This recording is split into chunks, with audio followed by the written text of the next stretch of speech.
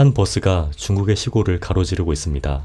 버스에는 젊은 여성 운전수와 열댓 명의 건장한 장정들이 타고 있는데요. 한편 몇 시간째 버스를 기다리던 한 청년. 버스가 보이자 가방을 챙기며 기분 좋게 버스에 올라 갑자기 담배를 피우는데 연기를 마구 내뿜어도 장정 중 누구 하나 불편을 제기하지 않습니다. 에이, 버스는 그렇게 한참을 더 달리고 청년은 어느덧 잠에 드는데 웬 남자 두 명이 도로에서 도움을 청하자 운전수가 문을 열어 안부를 묻는데요. 哎，他怎么了？把钱都他妈掏出来！快点，手表！ 강도는 사람들에게 폭력을 행사하고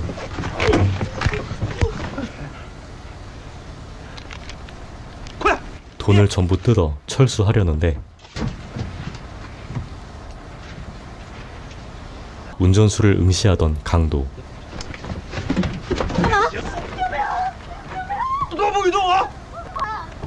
운전수를 겁탈하려 드는데 보다 못한 청년이 홀로 운전수를 구하러 가고 사람들은 구경하기 위해 자리에서 일어나죠.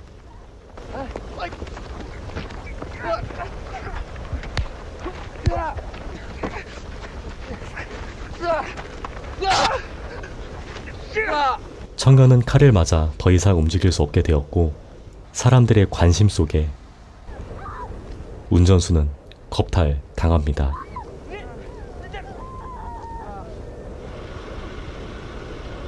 일을 마친 강도들은 도주하고 만신창이가 된 운전수가 겨우 몸을 일으켜 간신히 버스에 오르는데 사람들은 그저 눈을 피할 뿐이었고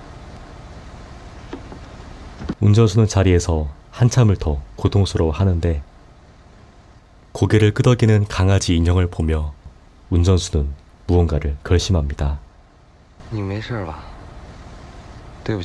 사과를 하며 차에 오르는 청년. 운전수는 갑자기 승차를 거부하고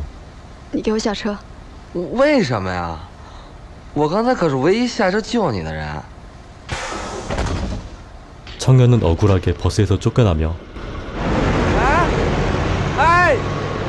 버스는 순식간에 떠나버립니다. 청년은 다행히 차를 얻어 타는데 성공하고 목적지 근처에서 웬 경찰차를 발견하고 멈춰 서는데 도착한 곳은 교통사고 현장.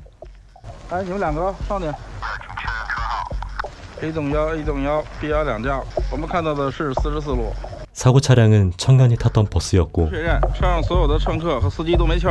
청년은 유일한 생존자가 됩니다.